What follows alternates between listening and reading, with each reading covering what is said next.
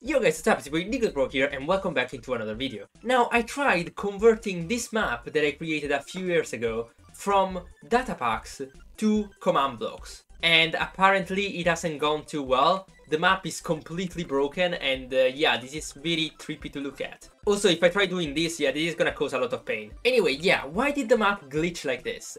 And most of all, how did I convert the entire map into command blocks? These are some que- oh my gosh, I need to stop this, stop this. Okay, there you go. These are some questions that are gonna be answered today. But finally, I will be able to show you once and for all that command blocks are bad and you should not use them. And the only reason my converter didn't work is because command blocks are bad and not because I'm bad at coding.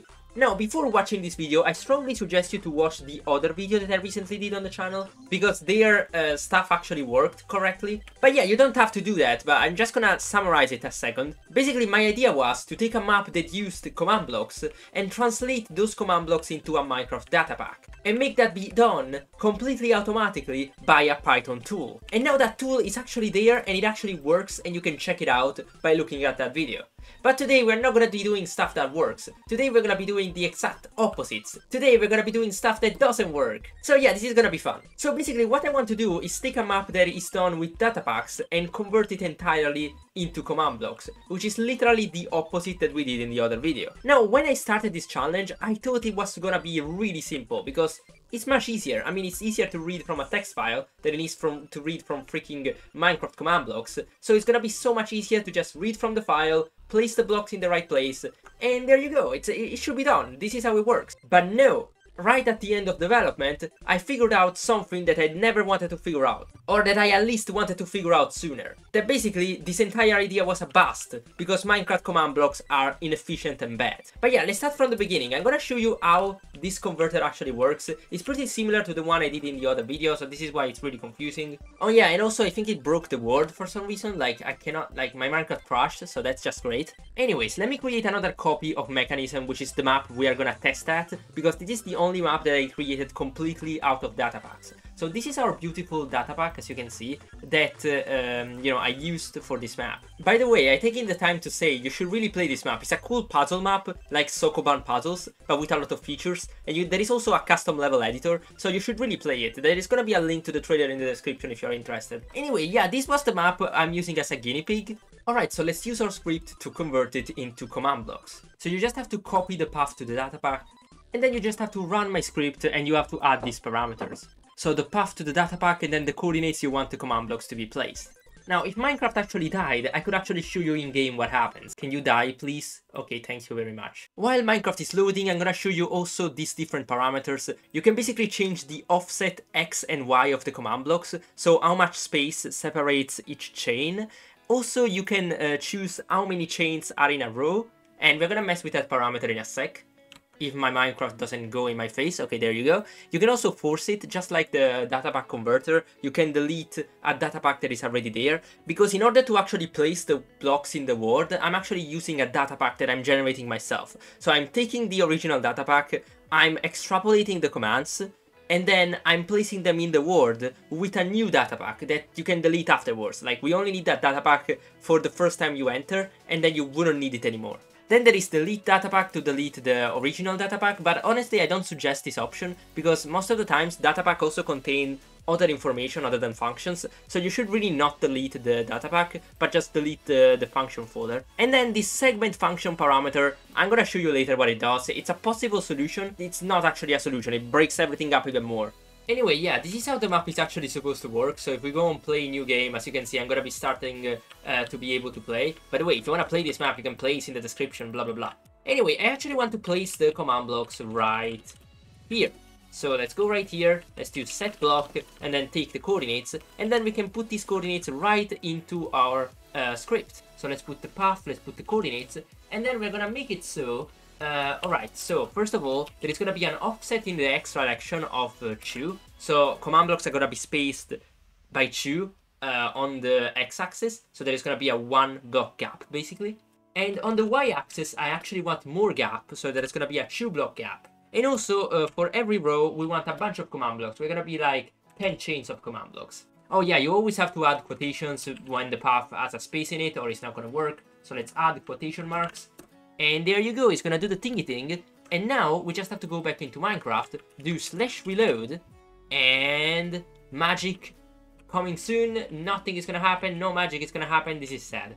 Oh, okay, it was just loading for some reason. It took a really long time. Okay, that's that's weird. But anyway, it placed all of the command blocks into the board, and this does exactly what would you expect it to do. It will basically read into every single, uh, let me see. Okay, I still have the data pack. It will read every single file, okay? And every file is gonna be a different chain. And now, if the chain is uh, located in the tick.json, so right here, if the chain is right here, then it's gonna be a repeating chain. If it's not right here, then it's gonna be an impulse chain. And so yeah, that's basically how that logic works. And so all the other chains are gonna just be uh, needs redstone and are gonna be callable, but the repeating ones are actually the ones that, you know, come from the tick function. Also, if you see a red block here, it means that this uh, file exists, but it doesn't have any functions. So if I search for that file, which is spawner, I think, I'm not gonna find it naturally because I'm bad. Okay, but yeah, there is not any functions in this file, and this is why it generated the block but didn't actually spawn the command blocks, because there are not any command blocks. Now, every single block that it spawns, the first block actually disables itself, so disables its own chain, and then all of these blocks are all of the different command blocks in the data pack. Alright, and then another thing that I did naturally is every time you call a function, so every time we did, I don't know if I can find it right now, uh, this is gonna be bad. Let me find it right here, so if I do, uh, there you go, function, so this is gonna show me all of the call to the functions. So for example, this is the change level info file, and we're calling mekanism save level. So right here in change level info file, uh, am I gonna find it ever? Okay, there you go, change level info. So in this chain, as you can see, the second command block is gonna do a data merge block. So I will basically replace all of the function calls to actually enabling the correct chain in my uh, commands. So this is actually the chain that is gonna save the level. And as you can see, it's only one command. And it's only one command because this function, it's only one command. So you may say, Nico, this is perfect, why doesn't this work? And that's what I want to know too, because you may think, well, Nico, this is working, this is so good and dandy, but let me actually just, oh, I, I did a mess. Okay, let me actually just delete the data pack right here. So this is the old data pack. I'm just gonna delete the functions, I guess. Yes, there you go. And I guess I'm gonna delete the, tags as well, at least the function tags, so it's not gonna give me any problems. And then we're gonna reload, and then just to show you that there are not any tricks to this, I'm also gonna delete the data pack that was generated in order to actually place the blocks. So basically this data pack, the only thing that it has is uh, uh, you know, block placement. So it only has one function that is the function that places every single one of these commands. So it's a little bit crazy, but basically... Oh, did I mess up my computer? Oh no. Okay, my, my computer crashed for a second, I don't know why. Anyway, all of these command blocks were placed by this function right here. So this is why it lagged a real bunch. It executed all of these commands in a one tick. These are like 2000 commands. Okay, yeah, I can see now why it lags. But yeah, it will also do stuff like force load. So it will also load the correct chunks. So you're not gonna have any problems. Anyway, yeah, we don't need this anymore. We only had to do this once. So we did it. And yeah, now that we have... Okay, I need to stop doing that. Okay, now that we have everything, we can just do reload. And now the map is completely working from these command blocks. It's not using the data pack anymore. We deleted the data pack. And you may think, well, Nico, this is gonna work, right? Why doesn't this work? And you might be slightly correct, uh, except not. Yeah, none of this stuff works. And as soon as I reset the level, this happens. Which is really trippy. You might say, Nico, why is this happening? Like, why? Nico, the, the logic is perfect. No, there might be that I did a mistake in the logic itself. Uh, it's possible.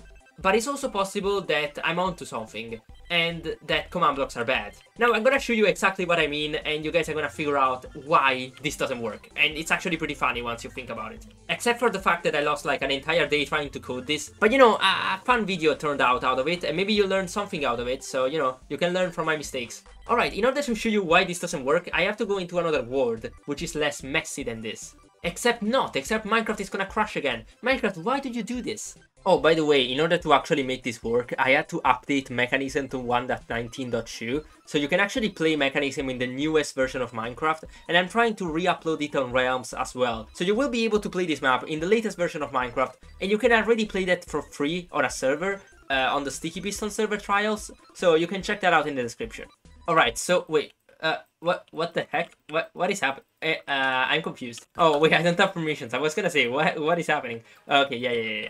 Okay, so I was messing around with it on my own because I was trying to not mess with my brain too much, but I think I figured out what is going wrong. So let's say we have a command block that says say hi 1, okay? Then we have another command block in the chain that says say hi 2, and then we have another one that says say 3. So here you go, we have this simple chain. And now I'm gonna do a little funny thing and just place a lever right here, and it's gonna say hi 1, hi 2, and hi 3. Now you may say, Nico, this is stupid, why are you showing me this? Because what if, instead of i2, we put i2 right here, okay? And then, instead of this command, we do we do data merge block here auto 1b. So basically what is going on is, this command block will say hi 1, this command block will activate this command block that will say hi 2, and this command block will say hi 3. Is this what you think is gonna supposed to happen? That is not even correct English, Nico. But do you think this will happen? Really, do you think this will happen? I'm, I'm asking you right now. Because, uh, that definitely does not happen. So basically, this command block executes first, then this command block executes second, and then this one happens. You may say, bruh, what is this? Why is, does this happen? The reason why this happens is because this command block gets turned to always active immediately. So it gets turned to always active as soon as this command block executes. But the problem is, command blocks are limited they only execute at the start of the tick. And why is it raining? So yeah, you need to wait for this chain to finish, and only then this command block will realize, oh, I'm supposed to be running, and then it will start running. So yeah, because of this stupid thing, my converter doesn't work, because Minecraft functions actually don't work like that. Because if I were to have a function right here that was like function say hi dot hi to, at example, and I executed this code, then this is the order of operations that would have occurred. So it's hi 1, the function gets called and it says hi 2 immediately, and then it's hi 3. But yeah, this doesn't happen because Minecraft commands are delayed by one tick. It's kinda like if you were using a repeater, really. Like if you want to activate one command block remotely from another command block, you need to have this delay. There is no way around this. I mean, I literally cannot rewind time, okay? There is a physical limitation here, and there is no way getting past it. Now, I found a few solutions to get past it, but they are really crazy, and you know, they are not supposed to work, but they're just crazy solutions that maybe one of you can implement because I'm too lazy to do so. So this is why I'm making this video. Anyway, the first solution is to never use functions at all. So basically, when you see a function call in the datapack code, you just replace it with the body of the function. Now, this is all fine and dandy, but if the function is like 20 lines long and it gets called 10 times, you're gonna have 200 command blocks just like that. So yeah, this is crazy, and also I want it to be day because I'm scared. But yeah, so this is crazy to do, but it would technically solve the problem, because the, the problem only occurs when you are calling other functions. But the other side effect would be that the command blocks will literally be one big repeating chain. And then, you know, this chain will have every single function stripped and put into it. It's gonna be really, really crazy. It's gonna be like a, maybe a, I don't know, a 10,000 command blocks long chain for a map like Mekanism, Even more, maybe. And then there is another problem, which is recursion. I mean, I'm using functions uh, recursively, because one function is calling the other one, under certain conditions, and that function is calling itself again. So uh, you cannot use recursive functions. Oh my gosh, the weather, it's, it's so bad.